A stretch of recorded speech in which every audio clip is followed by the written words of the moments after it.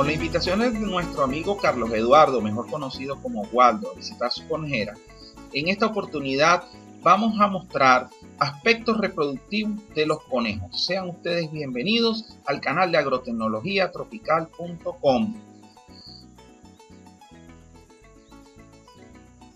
Lo primero que hay que revisar es que la coneja se encuentre en celo. Y eso se logra observando la vulva, la cual debe estar de un color rojo.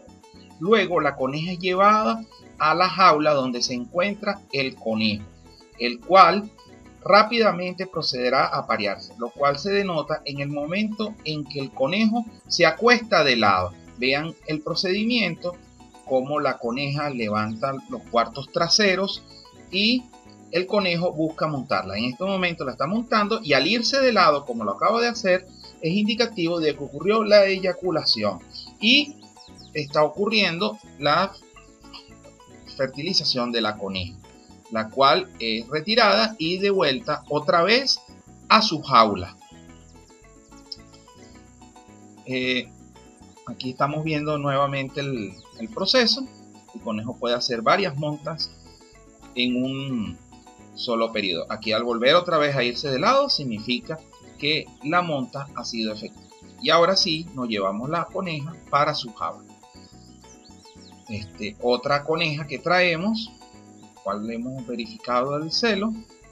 Y eh, aquí se aprecia la importancia de que la jaula sea en forma circular, la de los machos reproductores.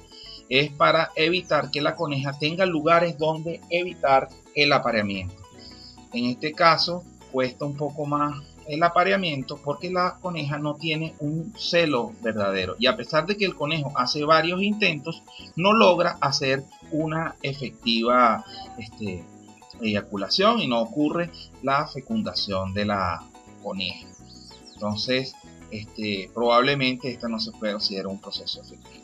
Aquí este, después con las conejas que son devueltas a sus jaulas para las reproductoras este, un mes después de la, del servicio, las conejas proceden a tener a su camada, la cual puede fluctuar desde 4 hasta 12 conejitos o incluso 14 conejitos o gazapos que nacen. Y son desarrollados de una manera efectiva.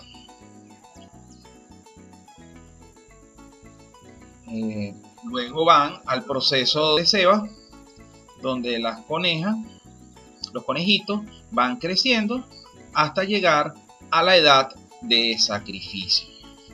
Y así concluye otro video más del canal de agrotecnología tropical.com. Eh, los invitamos a seguir viendo otros videos de nuestro canal, suscribirse al canal y conocer nuestro programa de asistencia técnica por internet. Muchas gracias.